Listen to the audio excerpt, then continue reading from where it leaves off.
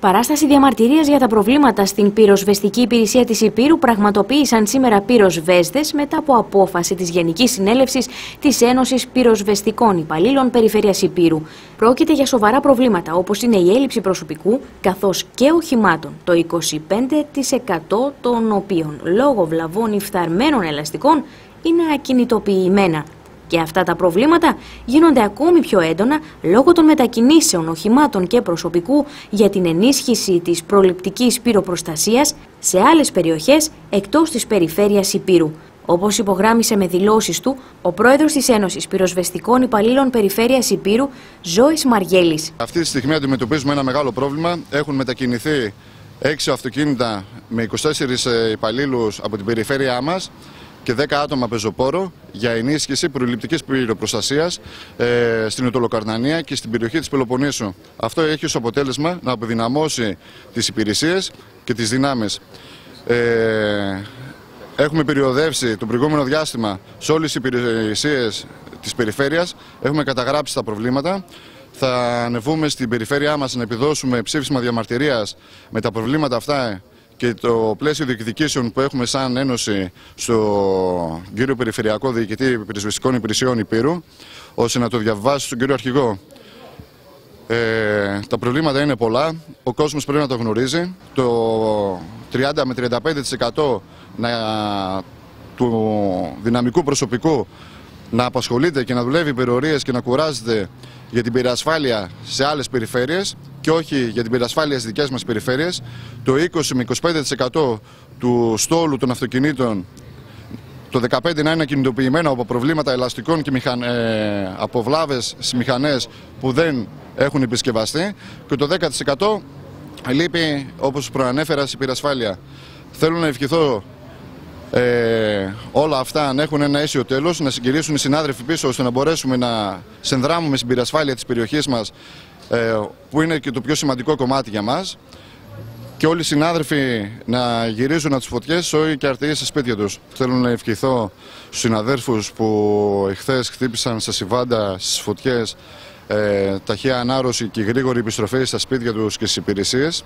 Από την πλευρά του, το μέλος του Διοικητικού Συμβουλίου της Πανελλήνιας Ομοσπονδίας Πυροσβεστών και μέλος της Ένωσης Πυροσβεστικών Υπαλλήλων Περιφέρειας Υπήρου με την Ενωτική Αγωνιστική Κίνηση Πυροσβεστών Βλάχος Δημήτρης υπογράμμισε πως ε, η έλλειψη προσωπικού οχημάτων και η μείωση των πόρων για την πυροσβεστική οδηγούν στην εντατικοποίηση της εργασίας, με αποτέλεσμα το πυροσβεστικό προσωπικό να εργάζεται υπό δύσκολες συνθήκες και να έχουμε αύξηση των ατυχημάτων. Ήρθαμε σήμερα εδώ για να διαμαρτυρηθούμε ενάντια στην πολιτική όλων των κυβερνήσεων που δεν χρηματοδότησαν και συνεχίζουν να μην χρηματοδοτούν επαρκώς το πυροσβεστικό σώμα και βρίσκεται στη σημερινή κατάσταση.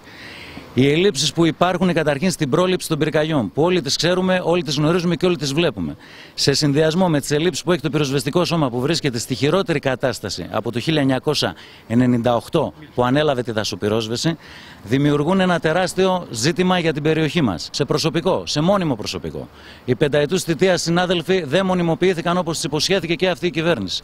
Οι εποχικοί συνάδελφοι αυτή τη στιγμή, συμβασιούχοι εποχικοί συνάδελφοι που είναι, δουλεύουν κάθε καλοκαίρι, είναι στον αέρα. Ελλείψεις σε μέσα, σε εναέρια, σε οχήματα. Πώς σχεδιάζει τώρα η κυβέρνηση; Να καλύψει και να μπαλώσει στην ουσία αυτά τα κενά. Καταρχήν με συνεχείς επιφυλακές του προσωπικού. Συνεχή εμπλοκή στην υπηρεσία και στις πυρκαγιές και μέσα στην υπηρεσία. Με μεταθέσεις και με μετακινήσεις που ήδη ξεκίνησαν και ξεσπιτώνουν πυροσβέστες και θα συνεχιστούν. Και στη Ζάκυνθο έχουμε δύο άτομα εδώ και που είναι δύο μέρες άϊπνοι εκεί στην πυρκαγιά και δεν έχουν επιστρέψει ακόμη. Ε, σε ό,τι αφορά τις συνθήκες εργασίας, οι δραματισμοί των πυροσβεστών αυξάνονται. Χτες, συνάδελφοί μας πυροσβέστες στο Ζευγολατιό στην Πυρκαγιά, τέσσερις τραυματίστηκαν. Ο ένας είναι πολύ σοβαρά. Εδώ στην περιοχή μας, πριν από λίγους μήνες, σε δασική πυρκαγιά της Κόνιτσα τραυματίστηκε συνάδελφος. Πριν λίγες μέρες, σε δασική πυρκαγιά στο Σούλι της Θεσπρωτείας, τραυματίστηκε συνάδελφος. Εκεί οδηγούν η εντατικοποίηση της εργασίας, οι συνθήκες και όλες αυτές οι ελλείψεις που υπάρχουν. Ε, τώρα εμείς εδώ θα συνεχίσουμε τον αγώνα και σε κεντρικό επίπεδο.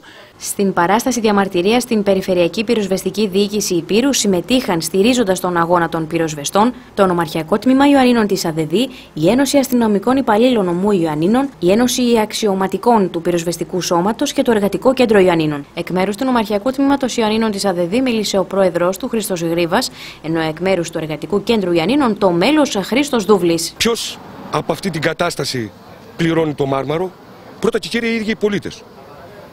Και λέμε ότι είναι αδιανόητο να συνεχίζονται αυτές οι πολιτικές λιτότητας, αυτές οι βάρβαρες πολιτικές περικοπής πόρων και μέσων, για να μην μπορούμε στοιχειοδός να ανταποκριθούμε και βρισκόμαστε σε μια πολύ δύσκολη περίοδο. Στοιχειοδός να ανταποκριθούν οι συνάδελφοί μας στα καθήκοντα που τους έχει αναθέσει η υπηρεσία τους.